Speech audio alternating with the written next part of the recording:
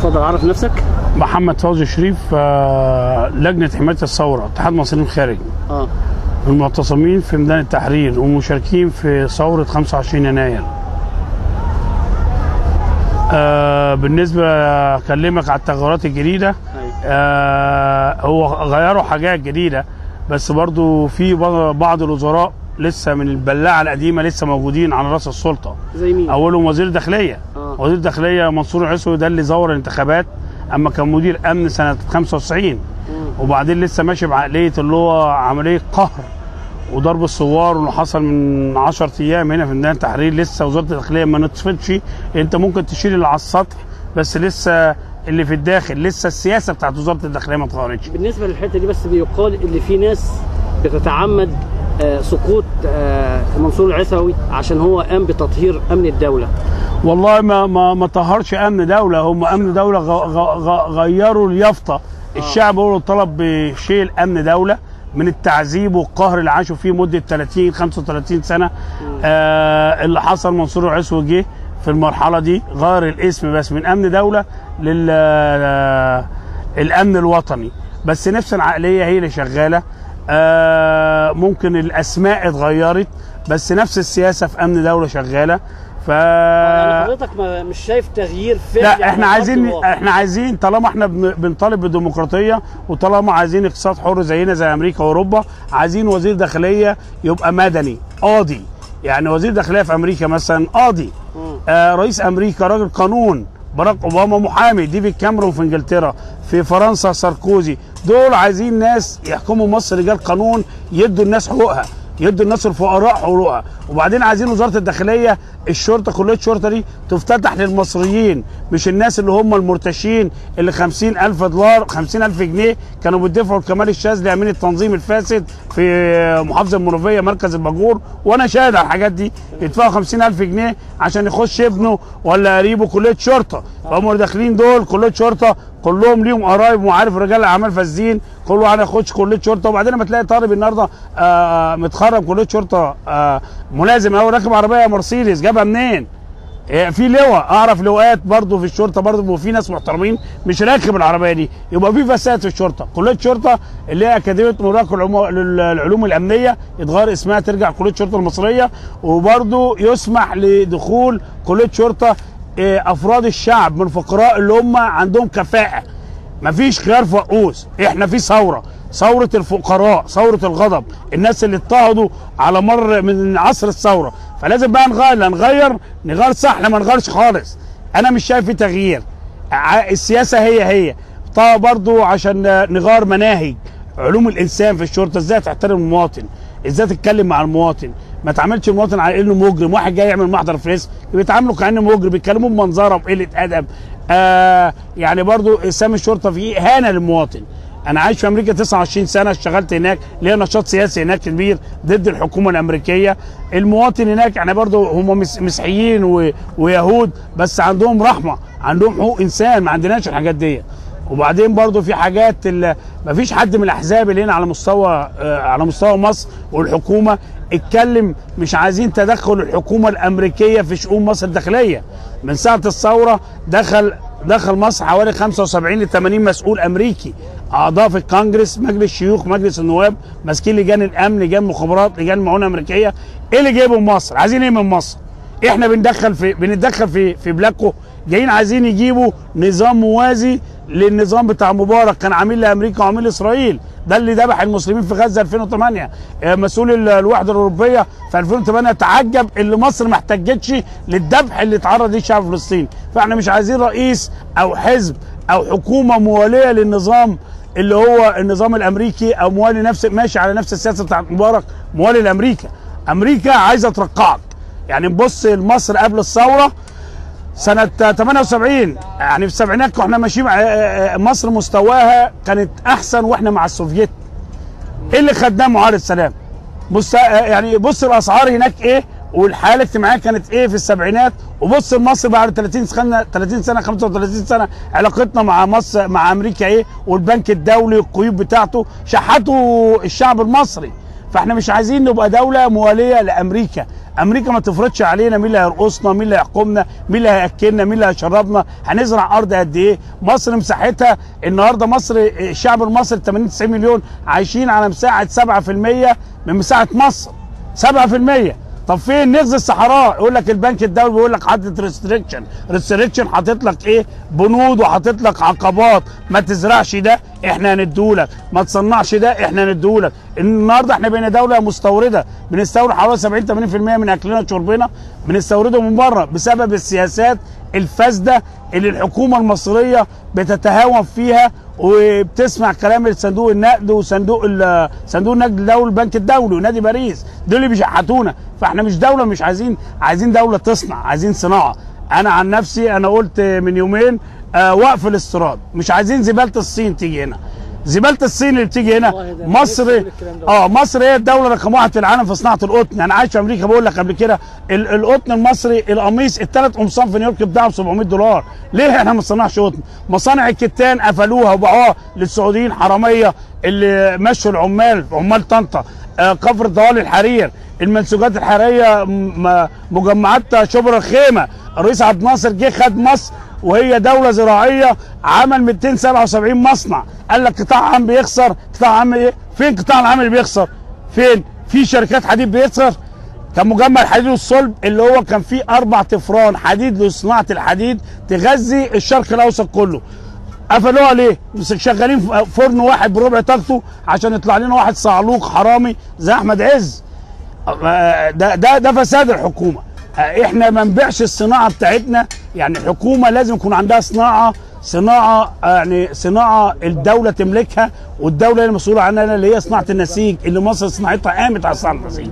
انت بدل ما تشتري قميص اشتري اشتري قميص من دولة ثانية قميص صيني أو whatever أي قميص اشتري مصري. يعني القميص لما تشتريه انت فلوسك دي هتروح للشركه والشركة هتقبض عامل.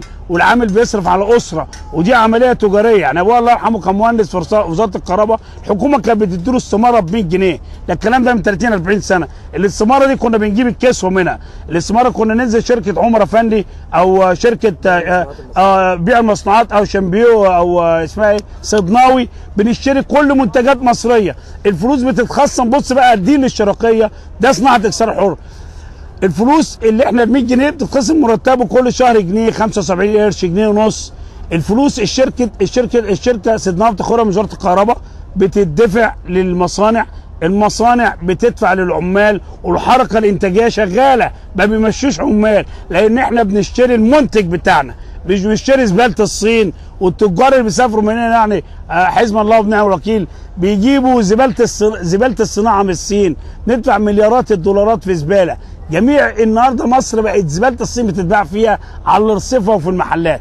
فإحنا دمرنا دمرنا الصناعه الصناعة بتاعتنا. إحنا مشهورين بالقطن. يعني دمرناه. ليه ندمره؟ لمصالح الصعاليك اللي طلعوا في العصر الفاسد هم إيه؟ عصبة رجال الأعمال.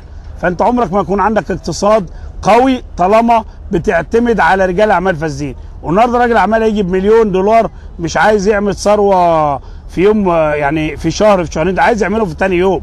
فهيمشي العمال وهيمشي ده وهيمشي ده وبعد كده يبيع الأرض زي قضية عمر افندي أمريكا وعدت محمود محي الدين الحرامي وزير الاستثمار وعدوه بمنصب ليه؟ قال لك خصخص الاقتصاد المصري. كان وزير الاستثمار دمر القطاع العام. ادوا اليهود ماسكين بنك ال- البنك الدولي وبقى مدير بنك الدولي. على حساب مصر. على حساب الفقراء في مصر على حساب الاقتصاد المصري. وبرضه بطرس غالي الحرامي برضه ادوا له منصب صندوق النقد الدولي. تاني في البنك الدولي ليه ده يا وزير مالية؟ دمر الصناعات المصرية. فاحنا مش عايزين وزراء من نفس البلاعة. سمير رضوان كان من نفس البلاعة. بس الحمد لله ال- الدكتور حازم ببلاوي والناس المحترمين وبرضه هنديله وقته ونشوف إيه اللي هيحصل. يعني عايزين نتائج. بس برضه في بعض الوزراء إحنا يعني إيه ما يعني أنا واحد من الناس لا تحفظ عليهم بس برضه مش هحكم عليهم. برضه عايزين الحكومة تحط خطة خطة ملموسة. زي ما انت بتجيب مدرب يدرب الزمالك مثلا بتحاسبه آخر الموسم لو ما حققتش دوري ولا بطولات مشيه بس في نفس الوقت وانت بتديله الفترة دي بتقول له إيه شايف انت مستوى الفريق بيتغير في تحسن مفيش هزايم مفيش. فاحنا عايزين نشوف الخطة دي. رئيس الوزراء حاطط خطة الوزير عايز في المواطن المصري الفقير لازم يحس إن في تحسن. الأسعار لازم يكون عندنا control على الأسعار. النهارده بقول لك تخش محل تشتري مثلا كيس رز كيس مكرونة كل الب... كل المحلات بيبيعوا نفس السعر. ده يبقى رابطين السوق. يعني تفين في بق بعض. مين اللي محزم مافيا؟ الغرفة التجارية اللي هم بيستوردوا ال- المنتجات الغذائية. زارد 40% فده حرام. فوزير التموين ينزل يعمل شغله يراقب. والحكومة بقى ممكن بقى تبتدي تشتري من بره بأسعارها وتبيع للشعب وتدعم المجمعات الاستهلاكية اللي هي مجمعات النيل ومجمعات الهرام عشان تضرب سوق السوداء وتضرب السوق اللي هو الحر اللي مدمر المصريين. لو اقتصاد الحر إحنا في أمريكا بتخش المحل تجيب كيلو تفاح ب 2 دولار في واحد بيبيعه بدولار ونص في واحد بيبيعه دولار ده الاقتصاد الحر. هنا في مصر تجيب كيس كيس سكر كيلو ده بيبيع بستة ستة ستة ستة يبقى ده مش حر. لأن التاجر الكبير بيبيع لهم قال لهم تبيعوا بكام؟ يبقى ده قمة الفساد بنفسه. يبقى إحنا الجهاز الرقابي بتاعنا فاشل لأنه ما بيعملش شغله. لازم مصر يكون أنا من الناس اللي بأيد لازم يكون عندنا قطاع عام قدام القطاع الخاص لأن القطاع الخاص ما عندوش الكفاءة يدير مصر اقتصاديا. القطاع العام عنده الكفاءة عنده العمالة. زي ما كان عندنا قطاع عام ناجح والله في حارهم هم اللي دمروه. برضه نقدر نبني القطاع العام تاني بالذات مصانع النسيج مصانع الحديد مصانع الاسمنت ترجع للشعب مصانع المواسير شركات التلفزيون مصانع اللمض. رئيس عبد الناصر بناها على 12 فدان في اسماعيلية اتباعت ب 370 مليون وهي ثمنها 12 مليار. ده ده الفساد بنفسه. ده صناعة بتكسب. يعني اللمبة دي هتبوظ عندك فبتشتري لمبة. نخصخصها ليه؟ الحديد بنبني. إحنا عايشين على 7% من مساحه مصر. يعني حقنا نوصل نقول ل 15% 20% 30% مصر مش دولة فقيرة. إحنا دولة أغنياء. وبعدين الدول الدول الف- ال- ال- الفاشلة اللي تقول لك تعداد السكان عالي. إيه تعداد السكان عالي؟ دي إحنا مصر تشيل 300 مليون. بس البنك الدولي مش عايز دولة في مصر تبقى دولة اقتصادية قوية عشان الدولة الصهيونية اللي على حدودنا الشمالية. هي دي سياسه أمريكا.